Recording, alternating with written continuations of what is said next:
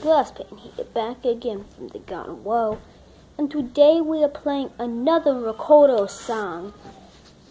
I forget the name of this song, but I will play it for you guys. Just one sec. Gotta get a picture for the thumbnail. Okay, now I'm gonna play it to you.